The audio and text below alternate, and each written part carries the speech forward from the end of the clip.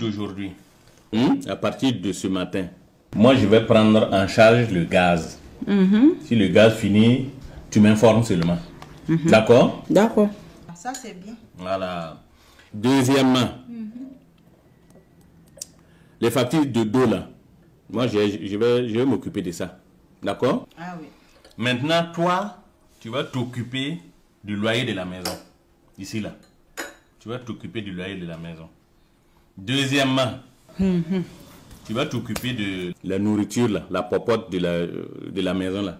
C'est toi qui vas t'occuper de ça aussi. D'accord? Troisièmement, les factures d'électricité, là. Tu vas gérer ça aussi. OK? Et pour finir, même notre carburant, là. Hein, notre carburant de déplacement, mon carburant, toi, c'est toi qui vas t'occuper de ça. Tu as pu aller? Je rêve. Ou bien tu es au sérieux? Je suis au sérieux. Ce matin, tu es au sérieux? Je suis au sérieux. Ah oui. Donc maintenant, c'est moi l'homme de la maison. C'est moi le chef de famille et non toi. hein. Je porte le pantalon maintenant à la maison. On ne parle pas d'homme de la famille, on ne parle pas de pantalon. Toi, tu, tu touches plus que moi, non? Moi, je ne suis qu'un simple fonctionnaire. Moi, je suis un agent de bureau. Un agent de bureau à quoi? Rien. Toi, tu es carré aux impôts. Toi, tu as un gros salaire. Deux, vous avez des avantages comme le fonds commun. Toi, ton fonds commun, là, ça vaut 9 millions par an. Moi, je sais. Tu vas dire, pas non. En plus de ça, tu as des grandes indemnités là-bas. Sans oublier les bons de carburant qu'on vous donne là.